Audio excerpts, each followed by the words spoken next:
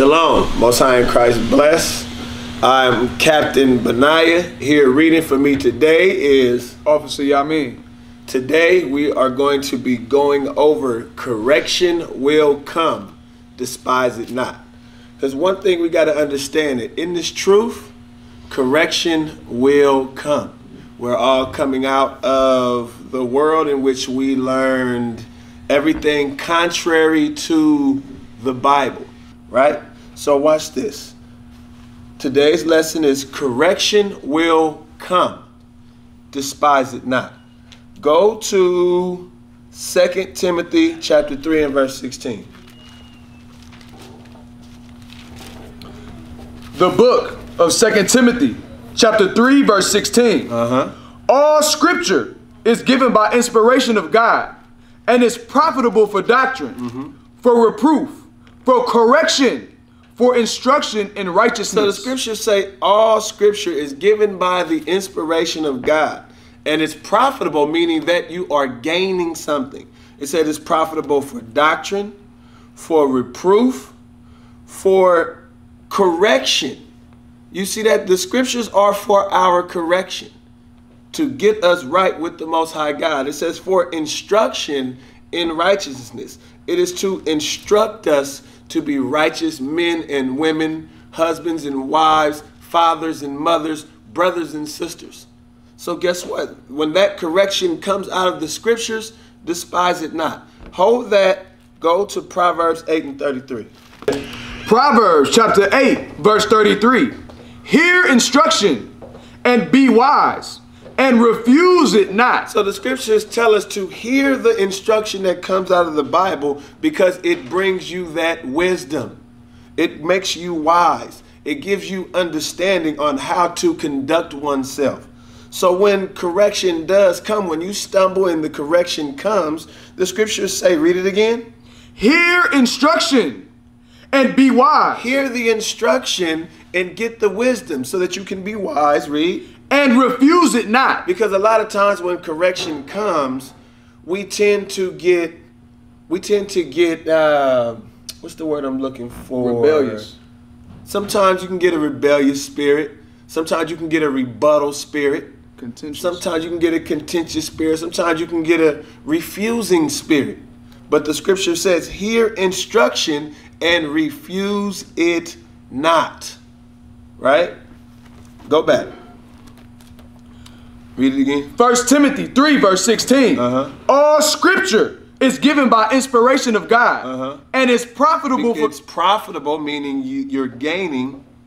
for doctrine, It's profitable for doctrine, for reproof, for reproof, to reprove our steps. Go ahead. for correction, For what? correction, For what? correction, Read. for instruction in righteousness. That's why the scripture said, hear instruction and refuse it not, because it is to instruct you in righteousness. Read on. Verse 17. That the man of God, That the man or woman of God, read. may be perfect Uh-huh. through thoroughly furnished unto all good works. Thoroughly furnished unto all good works. You see that? It is to thoroughly furnish us unto all good works. Watch this. Go to 1 Timothy 1 and verse 9. Because guess what? If you don't need correction, what are you here for? What are we here for if not the need to be corrected from what we was in the world to what we are becoming in this truth? Read that. First Timothy 1 verse 9. Uh-huh. Knowing this, that the law is not made for a righteous man, So if you think you got it already, the scripture says the law is not made for you. The law is not for a righteous man. Go ahead. but for the lawless Uh-huh. and disobedient, Because in the world, we were the lawless and disobedient. Go ahead. for the ungodly and for sinners, Uh-huh. for unholy and profane, for murderers of fathers and murderers of mothers, Uh-huh. for manslayers. Uh-huh. Verse 10 For whoremongers, For whoremongers. for them that defile themselves with mankind, Come on. for men stealers, Read. for liars, For what? For liars, Read. for per- perjured persons. Uh-huh. And if there be any other thing that is contrary to the sound doctrine, And if there be any other thing that is contrary to sound doctrine. if any other thing that goes against what the scriptures say, we need correction in that. Matthew 9 and verse 12. Verse 12. But when Jesus heard that, he said unto them, They that be whole need not a physician. Christ said, They that already got it, if you already got it all together, it says, They that be whole already, you, you already got it. You, you, you Mr. or Mrs. Know It All. You got it already together. It says, You need not the physician, read. But they that are sick, But them that are sick, come on. but go ye and learn what that meaneth. Uh huh. I will have mercy and not sacrifice. Read on. For I am not come to call the righteous, but sinners to repentance. You see that? He said he didn't come to call the righteous to, but sinners to repentance. Meaning what? If you're already righteous, you already got together, you don't need any correction, then you have no use for Christ. That's what the scripture is saying. You see that? So we all need and, and are going to get and see some type of correction along the way.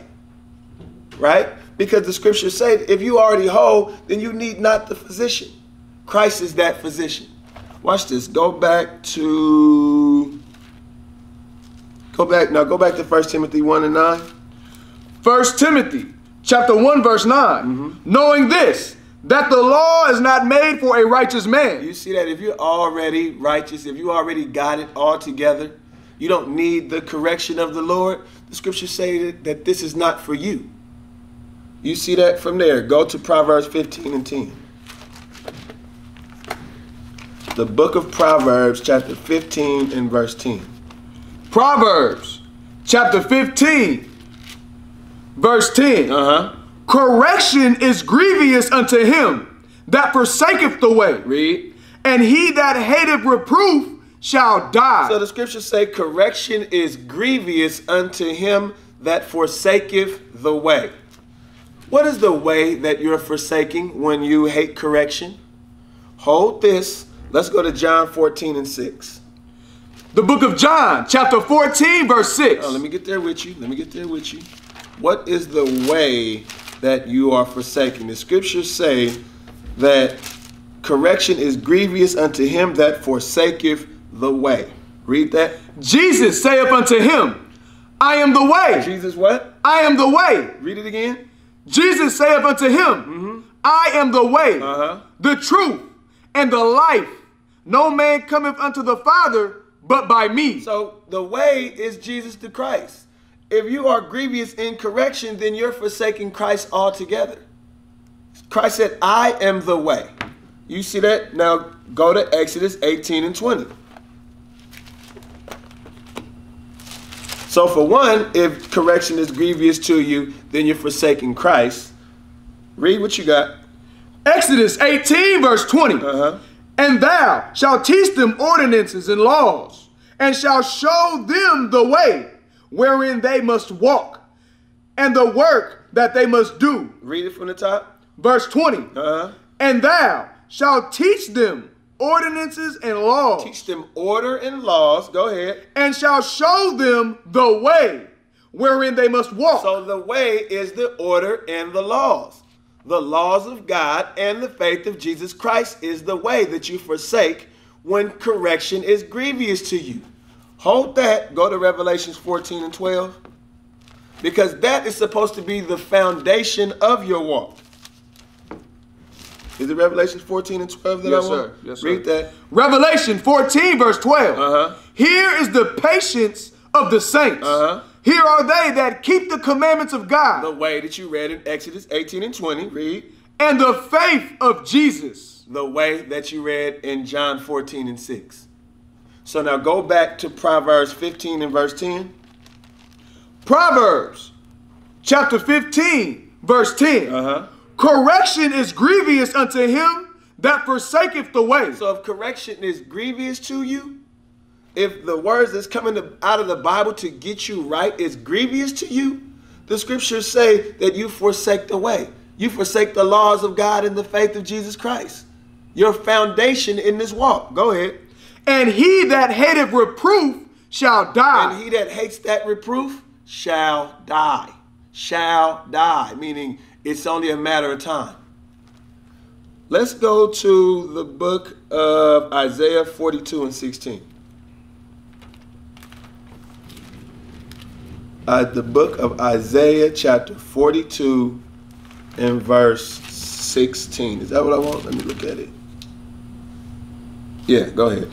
Isaiah 42, verse 16. And I will bring the blind by a way that they knew not. Because we are the blind. We were the blind. Before we knew this truth, we walked in blind ways. We walked in Christianity. We walked in the ways of our own minds.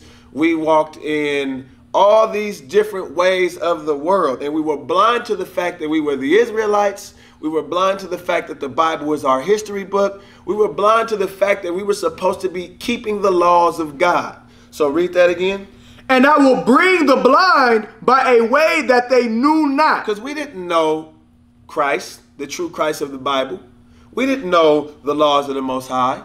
The scriptures say, I will bring the blind by a way that he knew not. Go ahead. I will lead them in paths that they have not known. Because before this truth started coming out the way it is, we didn't know these paths. So that now God is saying, I will lead you down these paths, that straight and narrow path. Come on. I will make darkness light I will make darkness light. Go ahead. before them Uh huh. And crooked things straight. You see that? The Bible is going to make the crooked that is in us straight.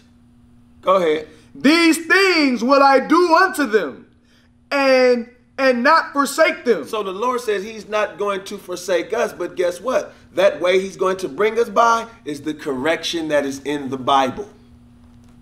You see that? From there, go to Sirach 21 in verse 6.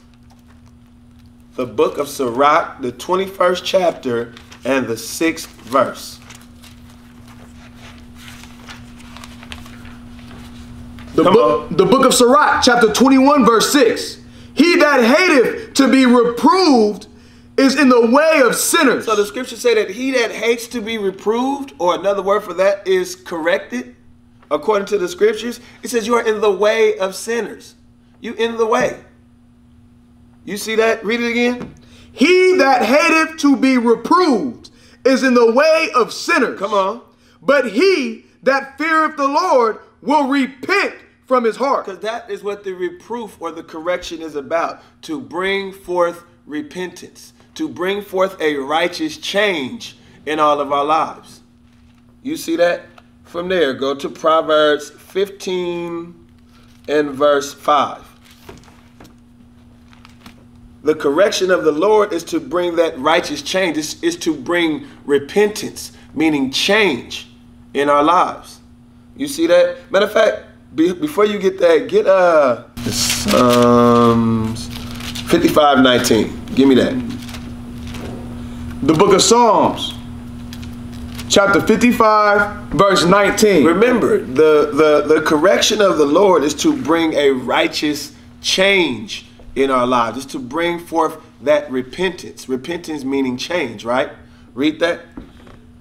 Psalms 55, verse 19. Uh-huh. God shall hear and afflict them, even he that abideth of old, Selah, because they have no changes, Because what? have no changes, Read. therefore they fear not God. So if you have no changes, if you're the same way that you were when you came in, and a year down the line, two years down the line, hell, six months down the line, you're still the same person that you were two and three years down the line. The scriptures say if you have no changes, the fear of God is not in you. You do not have a true fear of the Most High God.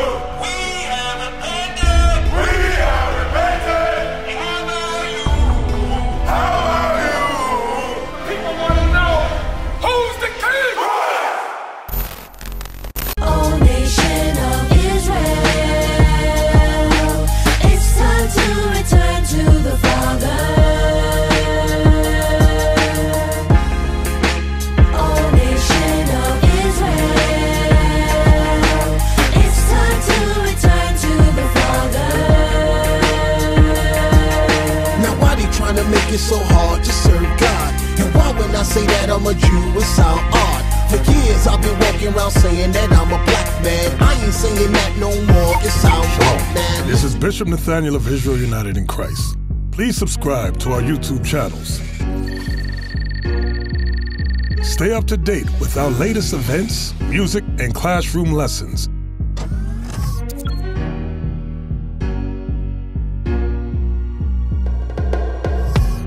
IUIC plans to continue visiting different countries where this gospel has not been preached before. IUIC needs your help in pushing this truth.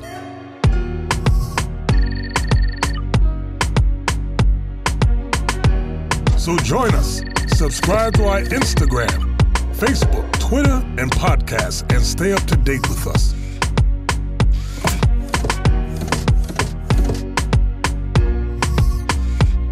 For more information, please visit www.israelunite.org.